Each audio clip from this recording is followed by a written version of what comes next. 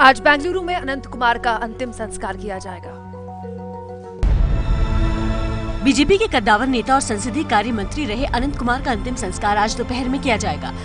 उससे पहले उनके शव को कर्नाटक बीजेपी कार्यालय जगन्नाथ भवन में रखा जाएगा, जहाँ उनके समर्थक उन्हें श्रद्धांजलि देंगे। कर्नाटक सरकार ने अनंत कुमार के निधन के बाद प्रदेश में तीन दिन का राष्ट्रीय शोक घोषित किया है।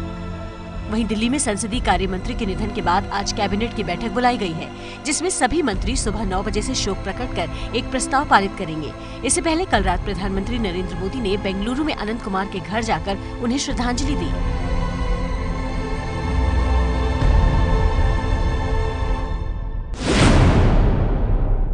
ये है एबीपी न्यूज़ आपको रखे आगे।